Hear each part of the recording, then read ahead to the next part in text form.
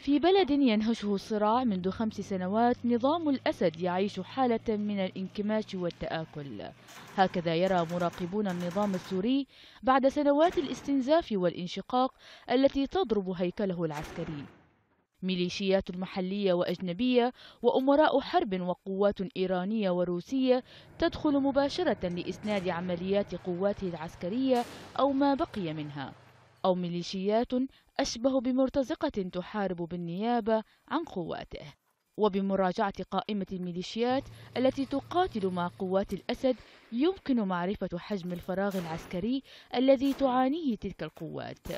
فمن بين تلك المجموعات ثمة مجموعات صغيرة تابعة للأسد قادرة على القيام بالعمليات الهجومية خلال هذه الحرب حسب مراقبين.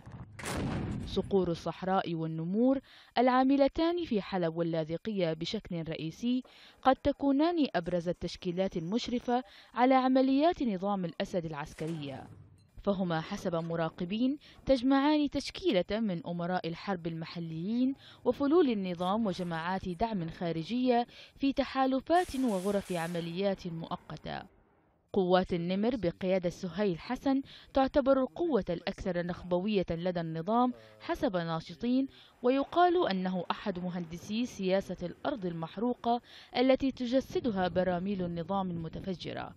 فيما تبقى الفرقة الرابعة حرس جمهوري التي يقودها شقيق الأسد ماهر مسؤولة إلى حد كبير عن حماية ما بقي من نظامه في دمشق. ملوك الشيخ العربية.